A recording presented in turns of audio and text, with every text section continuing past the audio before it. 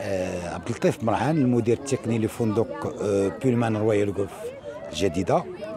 آه، في إطار الأسبوع التضامني اللي كتقوم به المؤسسة اللي كت كل سنة. ارتئينا هذه هذه السنة استضافة مؤسسة SOS Village بالتعاون مع مضايف جولف وارتئينا باش تكون فعالية هذه السنة فعالية لصالح الأطفال هي فعالية ترفيهية.